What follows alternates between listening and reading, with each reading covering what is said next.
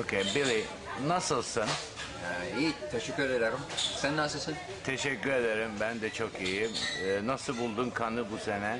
Kan, Yavaş yavaş, çocuk gibi. çocuk gibi yavaş yavaş. Türkçe Türkçe konuşuyorsun. biraz konuşuyorum. Unuttum. Konuş. Unuttun. Ne dedim? aa, Praktik. Praktik praktik. lazım, praktik yoksa.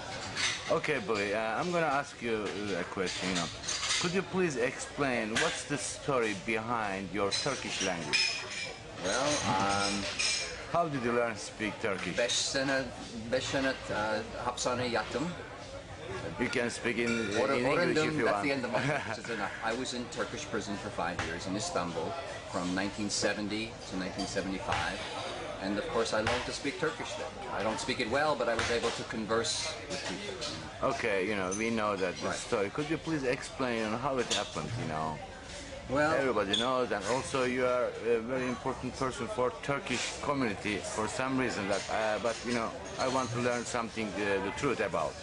I was in Istanbul, and you know it was the 1970s, and uh, I was smoking hash, and I was smuggling hash. Uh, seemed like a good idea at the time, and I taped this hash under my arms, and I was arrested at the airport. They weren't looking for hash. It was when the beginning of all of this airport security. The uh, Yeah. the PLO had first hijacked the jets in Libya and blown up the two Pan Am jets. And that started all of the airport security. Before that, no one searched you getting on an airplane. So they were searching people at the airport and they separated all of the people and put us on a bus and drove us out to the airplane and took us off the plane and searched people. And when the guards they hit this hash under my arms. He was thinking Bomba Bomba, and everyone froze, and they opened their guns, and it was like. and then he lifted up my shirt and he looked and he said, Esrar, oh, and they were all happy. Esrar, that's They were all happy. happy. All except me because down. And for the next five years, I was in prison. And then I got very desperate and very lucky, actually.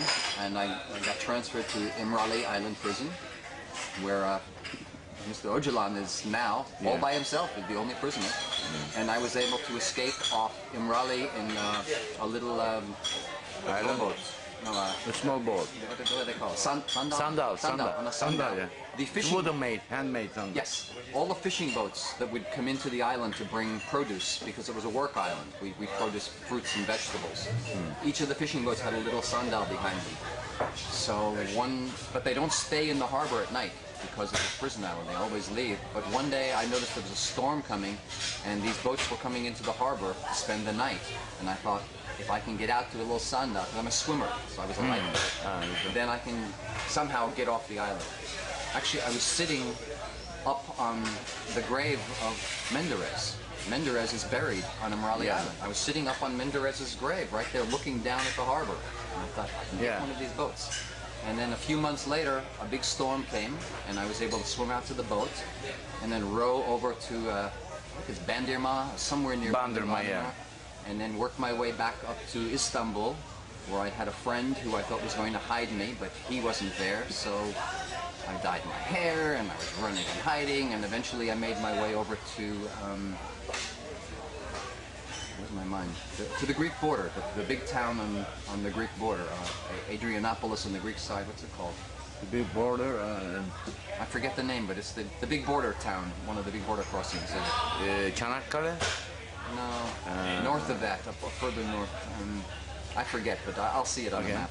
Okay. And then I was able to go down even further, down past a town called uh, Karakasi, a small village, Karakaşin. and then out into the open, wild country, and eventually cross, swim the river, the, uh, the Maritas, Maritas River, Yeah. across to into Greece to escape.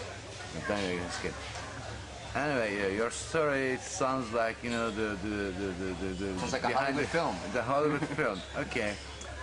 And then you wrote a book, Right. and uh, the book that you wrote was the same in the Midnight Express, or you know Oliver Stone. Did he change you know the, some part? It was different. The book, Midnight Express, is my story. It's Yeah. you know, some people in Turkey weren't happy with the book, but not not so much because it, it was what happened to me. That's it. Then the movie came. Oliver Stone wrote the script. I think he put a lot of his you know, he was angry and he had Platoon he hadn't made yet, and all of mm-hmm. his Vietnam stuff. A lot of that came into the movie, which was all right because as outsiders, people have their impression of what a prison is like. Whether it's Turkey or Iran or America or anywhere else, prison's bad. On the outside, everybody thinks what prison is. And I think that kind of influenced how they made their movie. What again, as I mentioned to you, the thing I my problem with the movie is that there are no good Turks in it. All the Turks in Midnight Express are bad. Yeah, I was just asking too because you mentioned to me a couple of days ago you had a couple of Turkish friends, good friends. I had good Turkish friends. And you were worried about you didn't see them in the movie, you know. You don't see any good Turks in the movie. They're all it's all very uh, one-dimensional characters, like caricature Yeah. of the Turks. Yeah. So the impression that everybody got from seeing Midnight Express is that all Turks are like this, and the hurt- reason why that movie, you know, It hurt the country. Yeah, it it hurt, hurt the country. Yeah. And I feel for that because, again, I liked the Turks. I had Turkish friends. I learned to speak the language. Buyurun, iram, um, you know, nasizin. I felt bad because that's everybody said, oh, all the Turks. I said, no, no, prison, yes, prison guard. But even the prison guards. In the prison, there was one guard who was a sadist. One guard who was, he liked to hurt people. He liked to frighten people.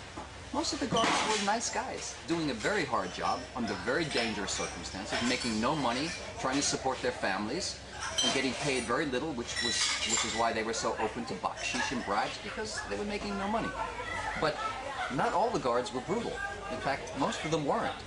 But that's the impression that everyone got, and Yeah. I feel bad for that. I know Turkey did because it affected them, but also for me because it put the cri- the criticism of the movie. They said this movie isn't true. Well, no, actually it is. The prison system is very bad. I have problems with the legal system too. I don't think people should be arrested for marijuana, but that's the same in the United States or anywhere. That's my own personal issue. Yeah. But they all said, well, because all the Turks in this movie are one-dimensional, none of the movie is true. So it constantly, I had to constantly be talking about that. I wish it hadn't happened. I wish they'd shown some good Turks and a balance to it. Maybe some of the lawyers being much more humane. Yeah. It would have created a different overall impression of what Turkey was. And it would have been better for Turkey and better for me. For both of us. Okay, uh, I have another question. Mm-hmm. If you compare the prison in the United States and the Turkey, you know, what's the difference? Is it similar? Are they better? Or do you know anything about the United I, States? I haven't US been in prison? prison in the United States, luckily, and hopefully never will, but I know a lot of people who have.